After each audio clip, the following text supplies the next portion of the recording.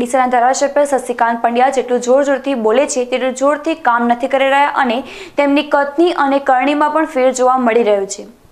લોકો સમક્ષ હિન્દુત્વની મોટી મોટી અને તદ્દન ખોટી વાતો કરીને હિન્દુત્વનો ઝંડો ઉઠાવનાર શશિકાંત પંડ્યાના મત વિસ્તાર દિશામાં બેફામ માંસાહારીની હાટડીઓ ધમધમી રહી છે.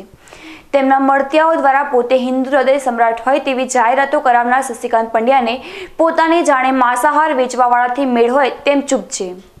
અમને મળેલી માહિતી મુજબ ડીસામાં ચાલતી આ દુકાનો પાસે લાયસન્સ પણ નથી.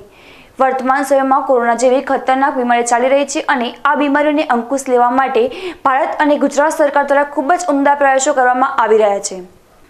પરંતુ ડીસાના ધારાસભ્ય શશિકાંત પંડ્યા પોતાનો ધર્મ ભૂલ્યા હોય તેમ તેમની અમી નજર હેઠળ અત્યારે તો હાટડીઓ ધમધમી રહી છે. સનાતન ધર્મની મોટી મોટી વાતો કરનાર અને ધારાસભ્ય બની ગયા બાદ સનાતન ધર્મના કર્તવ્યને ભૂલી બેઠેલા શશિકાંત પંડ્યાએ એક નજર સનાતન ધર્મના સાચા ધર્મ પર પણ કરવી જોઈએ.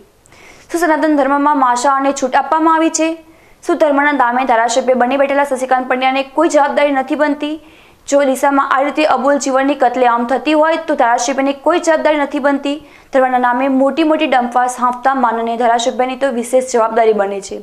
જો શશિકાંત પંડ્યા ખરેખર સાચા જ હિન્દુ ધર્મ નેતા હોય અને જનપ્રતિનિધિ હોય તો વગર મંજૂરીએ ચાલતી માંસાહારની હાટડીઓ સામે કાર્યવાહી કરાવવી જોઈએ. નહીતર તેમણે હિન્દુત્વના નામે મત માંગવાનો કોઈ અધિકાર નથી.